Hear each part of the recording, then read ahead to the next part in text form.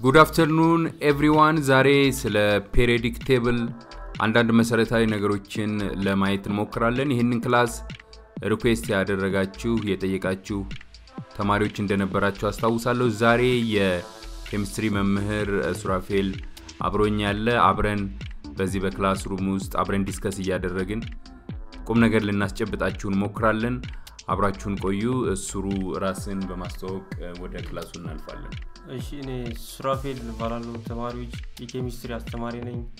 ስለ periodic table ትምህርት ይዤላችሁ ቀርቤያለው እንቀጥላለን። አሁን እንቀጥላለን። ስለዚህ አሁን እንደሰማችሁት የኬሚስትሪ መምህር አብሮኝ አለ። ስለዚህ የመጀመሪያውን ሀሳብ በመስጠት ይቀጥላል። በየመሀሉ የተለያዩ ሀሳቦችን በመቀያየር እናንተ ቁም ነገሮች እንድትጨብጡ እንሞክራለን።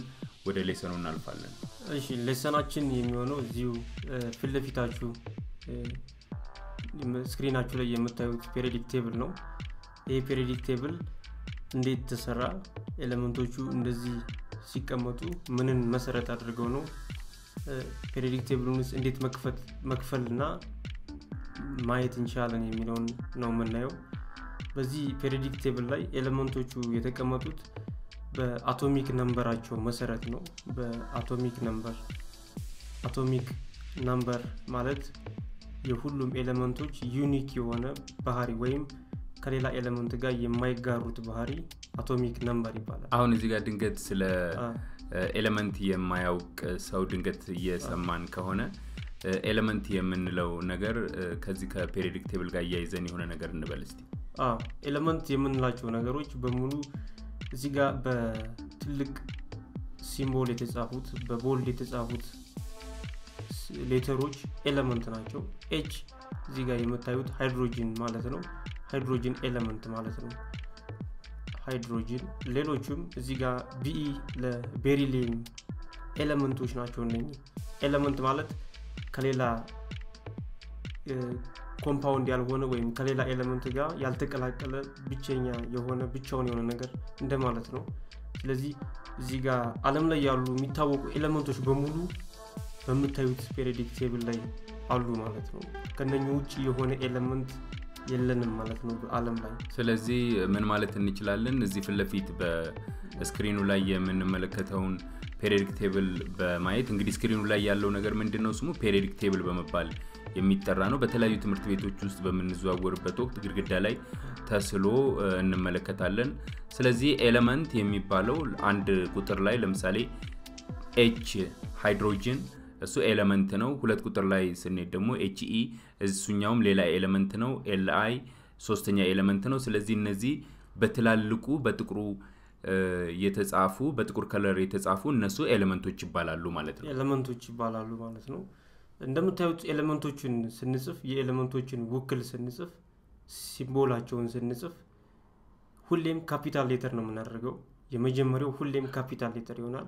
ሃይድሮጅን አንድ ብቻ letter ካለው ካፒታል ሆኖ ይጻፋል። ሁለት letter ካለው ግን ሁለት ፊደል ካለው የመጀመሪያው ካፒታል ይሆንና ሁለተኛው small ይሆናል። ልክ እዚህ ጋር የክሮሚየምን ማየት ይቻላል። የማንጋኒዝን ማየት እንችላለን። የ iron ን ማየት እንችላለን። ሁሌም የ element ኦች symbol ሲጻፍ በካፒታል አንድ ብቻ ከሆነ በካፒታል ሁለት ከሆነ ግን የመጀመሪያው ካፒታል ሁለተኛው small ይሆናል ማለት ነው። እንግዲህ ስለ element ኦች symbol ይህን ካልን periodic table ኡን ከፋፍለን ማየት እንችላለን። እንግዲህ ይህን ያህል ስለ element symbol ከተነጋገርን element symbol ስንል የ element አሁን ለምሳሌ ሃይድሮጅን የሚለው H በሚለው element ተወክሏል ማለት ነው። ሃይድሮጂን ብለን ስንጽፍ ወይም ከምናወራ አንዳንዴ ለማሳጠር በ chemistry ኛ H ልንል እንችላለን ማለት ነው። H ለሃይድሮጂን ነው። ሂሊየም ብለን በረጅሙ ከምናወራ H E ብለን መግለጽ እንችላለን። ሌላ H E የሚባል የለንም፣ ሂሊየም ብቻ ነው ማለት ነው።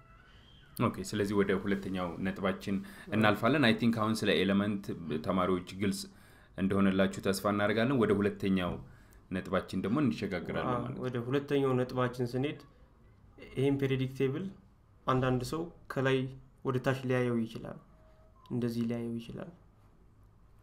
ወይም ደግሞ ከግራ ወደ ቀኝ ከዚህ ጀምረን ወደዚህ ማየት ልናየው እንችላለን ማለት ነው በሁለቱም side ስናይ periodic table ኡን መከፋፈል እንችላለን ማለት ነው። ከላይ ወደ ታች የምናየው እይታ group ይባላል። እሺ ስለዚህ አሁን አንድ ሰው ይህንን periodic table በተለያየ አቅጣጫ ሊመለከተው ይችላል። ከላይ ወደ ታች ሊመለከተው ይችላል። ከግራ ወደ ቀኝ ሊመለከተው ይችላል። እንዲሁም ደግሞ ከቀኝ ወደ ግራ ከተመለከተው reverse ነው የሚሆነው እንዲሁም ከታች ወደ ላይም ሊመለከተው ይችላል። በተለያየ አቅጣጫ ሊመለከተው ይችላል። ግን ትክክለኛው የምልከታውን መንገድ መሰረት ባደረገ መልኩ ደግሞ ትክክለኛው የምልከታ መንገድ ስንል ስንመለከት በ atomic number ኣቸው increase ማድረግ ወይም እየጨመረ መሄድ አለበት። የምንመለከትበት እይታ። ይሄኛው classification አሁን የምንመለከትበት ሁለቱ ከ atomic number ጋር የተያያዘ ነው። ከላይ ወደ ታች ስንመጣ አንድ ሶስት 11 እያለ ይሄዳል። እዚህ ጋም 26 44 እየጨመረ መሄድ አለበት ስንመለከት። ከግራ ወደ ቀኝ ስንሄድም ተመሳሳይ ነው 19 20 እያለ ይሄዳል ማለት ነው። ስለዚህ reverse ስናይ period ወይ group አይባልም ማለት ነው። ለ periodic property ያሉ የራሳቸውን የቻሉ property ዎች ለእነሱ ብቻ ነው የሚሰራ። ከቀኝ ወደ ግራ ማየት ወይም ከታች ወደ ላይ ማየት። ለ period እና ለ group ግን ከላይ ወደ ታች እና ከግራ ወደ ቀኝ ብቻ ነው ማለት ነው። ስለዚህ ከላይ ወደ ታች ስናይ ይሄ ነገር group classification ይባላል። በአጠቃላይ 18 group ኦች አሉን በዚህ group ማለት ለመጀመሪያ የመጀመሪያው group የሚባለው ይሄ ነው። one A ይባላል። ከሃይድሮጅን እስከ francium ድረስ ያለው ማለት ነው። ይሄ አንድ group በ main group ውስጥ main group እና sub group ብለን እንከፍለዋለን። ስለዚህ H Li Na K Rb Cs Fr ዝም ብለን element ኦቹን እየደረደርን ስንመለከት የመጀመሪያው group one ይባላል። group one ይባላል። okay። main group group one represent የሚደረገው group ኦች ሁሌም በ Roman number ነው። በ Arabic number represent አናደርጋቸው group ኦች Roman number ናቸው። ይሄ Roman number አንድ ነው። ይሄኛው ደግሞ Roman number ሁለት A ወይም group two ይባላል። እህ፣ ከቤሪሊየም ተነስተን እስከ radium ድረስ ያለው Be Mg Ca Sr Ba Ra እነዚህ group two group two main group ይባላሉ። ሌላው ይሄ እዚህ ጋር የምታዩት ከዚህ እዚህ ድረስ ያለው sub group ተብሎ የሚከፈለው ነው። እሱን እንመለስበታለን። መጀመሪያ main group ኦችን እንቀጥል። main group ኦቹ ሶስተኛው group በመካከል ያልፍና እዚህ ላይ ይጀምራል። ሶስት A የሚባለው main group ውስጥ main group ኦች በ A represent ሲደረጉ sub group ኦች ደግሞ በ P በ B represent ይደረጋሉ። group three ከ boron እስከ nihonium ድረስ ያለው ነው። ስለዚህ ቢ ኤ አይ ጂ ኤ አይ ኤን ቲ አይ ኤን ኤች እሱ group three ነው። እነኚህ group three ናቸው። እሺ። ይህ መሀል ያለውን ሰፊውን ከ21 እስከ 30 ያለውን ያለውን Sc Ti V Cr Mn Fe Co Ni Cu Zn እነዚህን element ኦች ዘሎ group three እዛኛው column ጋር ነው ሄደው እነኚህ sub group የሚባሉት sub group የሚባሉት ወይም group B ይባላሉ። በ B ነው የሚወ- የሚወከሉት። በ A እና በ A ዎች መካከል ነው ያሉት። በአንድና በሁለት እና ከሶስት እስከ ስምንት ባሉት መካከል ይገኛሉ። ስለዛ ነው sub group የተባሉት። ወይም እዚህ ጋር ያሉ element ኦች ብዙዎቹ metal element ኦች ናቸው አራተኛው የካርበን group ነው። ስለዚህ እንደዚህ አራት A ብለን እንጠራለን። ከዛ ከካርበን እስከ flerovium ድረስ ያለው ነው። ከዛ የናይትሮጂን ደግሞ አምስተኛ group ነው። ከዛ የኦክሲጅን ስድስተኛ A main group ናቸው። ከዛ ሰባት A እና በመጨረሻም noble gas ከማንም element ጋር react የማያደርጉት noble gas ኦች ወይም ስምንት A አሁን ያሳየዋችሁ የ main group element ኦች ናቸው ማለት ነው። sub group ኦችም እዚህ ጋር አሁን ምንድን ነው ትኩረት ብዙ ጊዜ የምናደርገው እዚህ ጋር የ main group element ኦች ላይ ነው። main group element ኦች የየራሳቸው ስም አላቸው። sub group ኦቹ ግን የላቸውም group family። ይሄ የሆነበት ምክንያት sub group ኦች special የሆነ property አላቸው እነኚህ ወጥ የሆነ ባህሪ ያላቸው። ወጥ ማለት ከሌላ ጋር combined ሲያደርጉ የሚሰጡን compound formula ተመሳሳይ ነው። ስለዚህ አሁን ይህንን periodic table ስንከፋፍል main group የሚባሉ አሉ እንዲሁም ደግሞ sub group የሚባሉ አሉ main group የሚባሉት እዚህ ጋር በምስሉ ላይ ለመመልከት እንደምንሞክረው ለምሳሌ በቀይ color ለማየት መሞከር እንችላለን በቀይ color ለማየት እንሞክራለን። ለምሳሌ ይሄ እዚህ ጋር የማከብበት ይሄ ይሄ ታች ድረስ ታች ድረስ የወረደው ይሄኛው የመጀመሪያው main group ነው። ከዛ ሁለተኛው ደግሞ ከዚህ ጀምሮ እዚህ ድረስ ታች ድረስ የማከብበት ይሄኛው ሁለተኛው main group ነው። ከዛ በመቀጠል ከዚህ እስከዚህ ያለው sub group ኦች ስለሆኑ እንተዋቸዋለን። ዘለን ወደ ሶስተኛው main group እናልፋለን። ሶስተኛው main group ይኸውና በሶስት ቁጥር የምጽፍበት ነው። አራተኛው main group ይኸውና እዚህ ጋር አምስተኛ፣ ስድስተኛ፣ ሰባተኛ፣ ስምንተኛ። ስለዚህ በጥቅሉ ምን ማለት እንችላለን? ስምንት main group አለው ማለት ነው የ periodic table። ስለዚህ ስምንት main group አለው ማለት ነው። ከዛ ከታች ደግሞ እዚህ ጋር በሌላ በቀይ የማከብበት ከዚህ ተነስቶ እዚህኛው ጋር ሰላሳኛው ወይም Zn የሚለው ጋር sub group ኦች ይባላሉ። ስለዚህ ስንት አሉ? እዚህ ታች ድረስ ያሉት። እሺ እነዚህ sub group ኦች ናቸው። እሺ እንቀጥላለን። sub group ኦች ናቸው። ብዙ ጊዜ በ grade nine እና በ grade nine ትምህርት ላይ ስለ sub group ስለ main group ነው በስፋት የሚወራው። sub group ኦችን በዩኒቨርሲቲ ደረጃ ከፍ እያለን ስንሄድ ብዙ ተንትነን እናያቸዋለን። ለ high school ተማሪዎች ግን main group ላይ ነው ትኩረት የሚደረገው። ስለዚህ እያንዳንዱ main ግሩፖች የራሳቸው ስም አላቸው። ለምሳሌ የመጀመሪያው main group one A የምንለው alkali metal ይባላል። ስለዚህ alkali metal ከተባልን ከሃይድሮጅን ጀምሮ እስከ ፍራንዚ የሚያከበብ ነው ድረስ alkali metal ይባላል። ሁለተኛው ደግሞ ስሙ እዚህ ጋር ያለው alkaline earth metal ይባላል። ሁለቱ እንግዲህ strong ሜታሎች ያሉባቸው ግሩፖች ናቸው። ስለ metal ስንወራ እንደነ sodium፣ potassium፣ magnesium strong ሜታሎች እዚህ ውስጥ ነው የሚገኙት።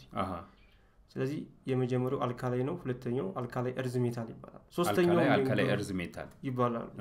ሶስተኛው ላይ ስንመጣ እነኝን actually ለመያዝ በጣም ቀላል ናቸው። ሶስተኛው group ላይ የ boron family ነው የሚባል በ boron መጀመሪያ ላይ ባለው በዚህ element ነው የተወከለው። boron መጀመሪያ ስላለ main group three ላይ boron family ይባላል። የካርበንም ተመሳሳይ ነው። carbon family ነው የሚባለው ስሙ። የናይትሮጅንም ልክ እንደዛው nitrogen family እንለዋለን። የ oxygen ንም oxygen family እንለዋለን። ስለዚህ ከሶስት እስከ ስድስት ያሉት በመጀመሪያው element ነው family ተብሎ የሚወከሉት። የቦሮን ፋሚሊ፣ የካርበን ፋሚሊ፣ የናይትሮጂን ፋሚሊ እና የኦክሲጅን ፋሚሊ። ግሩፕ ሰቨን ላይ ስንመጣ halogen ይባላሉ። እነኚህ more reactive የሚባሉ በጣም highly reactive የሚባሉ ነን ሜታሎች እዚህ ጋር ይበዛሉ። እነ fluorine፣ chlorine፣ bromine፣ iodine አይነት ኤሌመንቶች ቶሎ በመዋሃድ ይታወቃሉ። more reactive ናቸው። የነኚህ ስም halogen ይባላል ማለት ነው። halogen ይባላል። group ስማቸው halogen ይባላል። ሰባተኛው group ሰባተኛው group። ስምንተኛው ደግሞ ከሂሊየም እስከ oganesson ድረስ ያለው ይሄ oganesson በነገር ላይ 2016 የተገኙ ኤሌመንቶች ናቸው። እዚህ ጋር የምታዩቸው ማን ያገኛቸው ወይስ? የተለያዩ ሳይንቲስቶች ጃፓን ውስጥ የተገኙ አሉ፣ አሜሪካን ውስጥ የተገኙ አሉ። አራት ኤሌመንቶች እነሱ በ2016 በቅርቡ ነው የተገኙት። ከዛ ነው ይሄን periodic table የተቀላቀሉት እንጂ ከዛ በፊት እነኚህ ቦታዎች እዚህ ጋር ያሉት ክፍት ቦታዎች ነበሩ። ምንም አይነት element አልነበራቸው። ስለዚህ በአዳዲስ ኤሌመንቶች ሲገኙ include ይደረጋሉ ማለት ነው። ይደረጋሉ። ለእነሱ የሚሆን ቦታ አሉ አለ። በተለይ ይሄ period seven የምንለው በኋላ ላይ ስለ period ስናወራ በስፋት እናየዋለን። እነሱ ለአዳዲስ ኤሌመንቶች ሁሉ ክፍት ቦታ አለው። ስለዚህ life ን ህይወትን ከማቅለል አንጻር እነዚህ ኤሌመንቶች ወይም ደግሞ የዚህ የ periodic table concept ወይም ሀሳብ ከፍተኛ ሚና ይጫወታል ማለት ነው። ከፍተኛ ሚና ይጫወታል። በሙሉ የምንጠቀምባቸው drug ከዛ በፊት ይችን እንጨርሳትና group ስምንት ላይ ስሙ noble gas ይባላል። noble gas ወይም inert gas ይባላሉ። እነኚህ የምታያቸው ኤሌመንቶች በሙሉ ከማንም ጋር ይዋሃዱ reaction አያደርጉ። ምክንያቱም በራሳቸው stable ናቸው። በራሳቸው ስምንት outermost shell electron አላቸው። ኤሌመንቶች የሚዋሃዱት የመጨረሻ ሼላቸው ስምንት እንዲይዝላቸው ነው። እነኚህ already ስምንት አላቸው ስምንት አላቸው ስምንት አላቸው። የ neon ን ሁለት ስምንት ነው ስምንት አለው። የአርገን ሁለት ስምንት ስምንት configuration አለው ስምንት አለው። የ krypton ሁለት ስምንት አስራ ስምንት ስምንት ይሆናል። ስለዚህ ሁሉም ስምንት ስምንት አላቸው ወደታች ስንሰራ። በዚህ ምክንያት noble gas ይባላሉ ማለት ነው። ይሄ ነው። ማንኛውም አይነት drug፣ ማንኛውም አይነት ሳሙና፣ ማንኛውም አይነት ኬሚካል ነገሮች ሲሰሩ እንግዲህ እዚህ ውስጥ ኤሌመንቶችን proper የሆኑ ኤሌመንቶችን ወስደን ነው ማለት ነው። ሳሙና የተለያዩ ቤት ውስጥ የምንጠቀምባቸው ሳሙናዎች እዚህ ውስጥ ያሉትን ነገሮች በማቀላቀል እና በማደባለቅ የሚፈጠሩ ናቸው ናቸው። ለምሳሌ ሶዲየም እና እዚህ ጋር ፖታሲየምን ተጠቅመን እሺ። የተለያዩ ለልብስ የሚሆኑ ሳሙናዎችን hard ሶፖችን ሶዲየምን ተጠቅመን ለሰውን ለፊት ለቆዳ የሚሆኑ ደግሞ ፖታሲየምን ተጠቅመን እንሰራለን ማለት ነው ሶዲየም እና ፖታሲየምን ለ- ሶዲየምን ከውሃ ስናቀላቅል sodium hydroxide እናገኛለን። እሱ hard soap ለሚባሉ ለልብስ ማጽጃ ምናምን ይውላል። ይውላል። ፖታሲየምን ከውሃ ደግሞ አቀላቅለን potassium hydroxide ላይን ተጠቅመን ደግሞ soft soap መስራት እንችላለን okay። wow! በጣም ከፍተኛ ጠቀሜታ እንዳላቸው ነው የሚያሳየው። ስለዚህ ይህንን class የሚከታተሉ periodic table ን ማወቅ ስለዚህ ጉዳይ በደንብ በዝርዝር ማንበብና ማጥናት።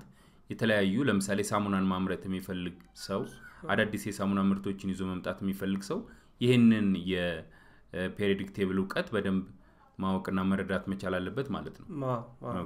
ሌላው ከ periodic table የምናገኘው እውቀት periodic table እንዲሁ አይተን ብቻ እንደ ኬሚስትሪ ተማሪ periodic table ን በማየት ብዙ ነገሮች መናገር እንችላለን። okay። የ element symbol መናገር ትችላለን የ element name መናገር ትችላለን እህም፣ atomic number መናገር ትችላለን mass number መናገር ትችላለን number of electron ኑን መናገር አሃ፣ በመቀነስ number of proton እና ኒውትሮን መናገር እንችላለን። group መናገር እንችላለን። ለምሳሌ ሶዲየም የትኛው group ነው ብንባል group one A main group እንደሆነ እዚህ ጋር በማየት መናገር እንችላለን። okay period መናገር እንችላለን። የትኛው period ላይ ይገኛል የሚለውን መናገር እንችላለን። ስለዚህ periodic እዚህ ጋር የምታያቸው ቁጥሮች የእያንዳንዱ በትልቅ በ bold የተጻፉ ቁጥሮች በደማቅ የተጻፉ atomic number ይባላሉ። በቀይ የምታከብበት ማለት ነው። እዚህ ጋር ደግሞ በትንሹ ላይታያችሁ ይችላል። ለምሳሌ የቫናዲየም 50.94 ይላል። ይሄ mass number ይባላል። ኒው- ኒውትሮን number of ኒውትሮንን ለማግኘት ከ mass number ላይ atomic number ስትቀንስ ማግኘት ይችላል ሁሌም ደግሞ atomic number የምንለው ከፕሮቶን ጋር እኩል ነው ከፕሮቶን ጋር እኩል ነው። ኦኬ። ስለዚህ አቶሚክ ነምበሩ 23 ነው ማለት ፕሮቶኑም ስንት ነው? 23 ነው ማለት 23 ነው ማለት ነው። አተሙ ደግሞ neutral ከሆነ charge እነኚህ በሙሉ neutral ናቸው እዚህ ጋር ኤሌክትሮንም አብሮ እኩል ይሆናል ከነ ፕሮቶን እና okay። ከ atomic number ስለዚህ በማየት ብቻ እነኚህን ነገሮች መናገር ይቻላል። ሁለተኛው classification ላይ ኒድ ወደ- ሁለተኛው classification ላይ ከመሄዳችን በፊት በጣም ደስ የሚል ነገር ነው እያስተማርከን ያለው። ምክንያቱም አሁን ሳሙና እ፣ በእነዚህ element ኦች ውህድ መምጣት መቻሉ መፈጠር መቻሉ በጣም የሚያስደስት ነገር ነው። ምክንያቱም አሁን ምንድነው እኛ ዋናው እነዚህን ትምህርቶች በምናጠናበት ሰዓት ወደፊት አንድ የተሻለ ነገርን ይዞ መምጣት የሚችል አስተሳሰብን ለመገንባት ነው። ተማሪዎች የእነዚህን ነገሮች ሲከታተሉ የራሳቸውን የሳሙና ምርት ማምረት የሚችሉባቸውን መንገዶች ለመጠቆም ያህል ጭምር ነው። ስለዚህ ደስ የሚል ሀሳብ ነው። ሀሳቡ ጥሩ ሀሳብ ነው። ፔሪዮዲክ ቴብልን በደንብ ዘርዝረው ለማወቅ ትንሽኛ ሀሳብ ካቀበልናቸው ዘርዝረው እያንዳንዱን ነገር ለመረዳት ይነሳሳሉ ይበረታታሉ ማለት ነው። ሞጁላቸውን በማንበብ መጽሐፋቸው ላይ የሰፈሩ ነገሮችን በማንበብ እንዲሁም ደግሞ ጥያቄ ካላቸው comment ኡ ላይ ለእኛ በመጻፍ እኛ ደግሞ በሌላ class ይዘንላቸው እንመጣለን ማለት ነው። ስለዚህ እኔ አሁን ጥያቄ የለኝም ወደ ሁለተኛው ነጥብ ማለፍ እንችላለን። እንግዲህ ሁለተኛው classification ደግሞ ወይም መክፈል periodic table ን እይታ ማለት እንችላለን። ስናየው ከ- ከግራ ወደ ቀኝ ማየት ነው። ከግራ ወደ ቀኝ ስናይ period ይባላል። ከግራ ወደ ቀኝ ማየት period እንለዋለን። ሰባት period ኦች አሉ። Okay። በዚህ periodic table ላይ ይሄ ከሃይድሮጂን እዚህ ጋር ጀምረን እዚህ ድረስ ያለው period አንድ ይባላል። period አንድ ይባላል። Okay። የመጀመሪያው period period ኦች የሚጻፉት ወይም represent የሚደረጉት በ Arabic number ነው። ይሄ period አንድ ነው ይሄኛው period ሁለት ነው ይሄኛው period ሶስት ነው ይሄኛው period አራት ነው ይሄኛው period አምስት ነው period ስድስት ነው ይሄ period ሰባት ነው። Period አንድ እንግዲህ ሁለት element ኦች ነው መቁጠር እንችላለን። እዚህ ጋር አንድ ሃይድሮጅን ያለን እዚህ ጋር ደግሞ ሂሊየም ሁለት ብቻ ነው okay።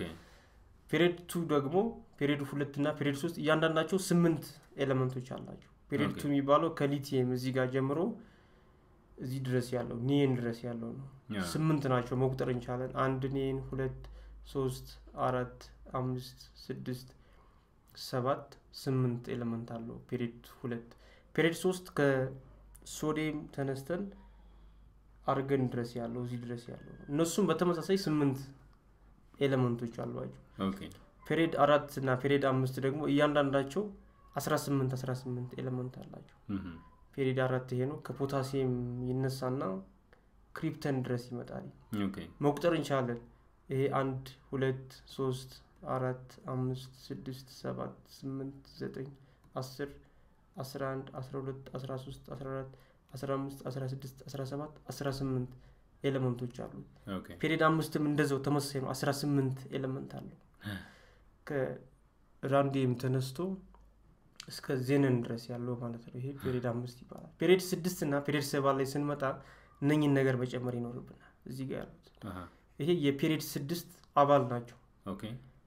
ታች ላይ ያለው actinide series የሚባለው ደግሞ የ period ሰባት አባል ወይም member ናቸው። Okay። ስለዚህ ስንቆጥር እነኝንም እንቆጥራለን ማለት ነው።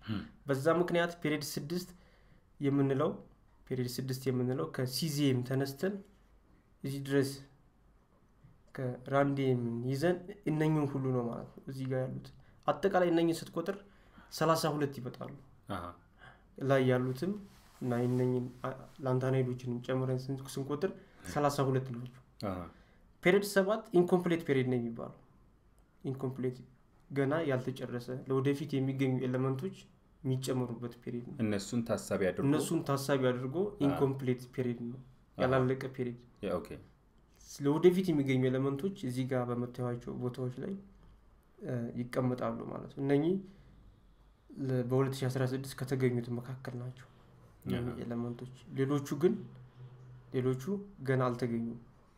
እዚህ ጋር ለምሳሌ 16 ገና አልተገኙም። እነኚህ property ያቸው ተጠንቶ እርግጠኛ ሲሆን ይጸድቃሉ ማለት ነው ስለዚህ period ሰባት incomplete ነው ለወደፊት የሚገኙ element ኦች ነው። እንደዛም ሆኖ ግን እነኚህ የ period ሰባት አባል member ናቸው አብረው ይቆጠራሉ. እዚህ ጋር እዚህ ድረስ ያሉት ማለት ነው እስከ መቶ ሶስት atomic number ድረስ ያሉት okay። ስለዚህ እነኚህ ሁለቱ በዛ ምክንያት inner transition ነው የሚባሉት።